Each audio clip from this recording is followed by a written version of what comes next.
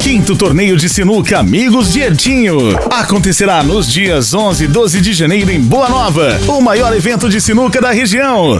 É o quinto torneio de sinuca Amigos de Etinho, que reunirá os melhores jogadores do Brasil. No sábado, dia 11, terá grandes desafios durante todo o dia. Já à noite, o show fica por conta do cantor Léo Moreno e Ricardo e seus teclados.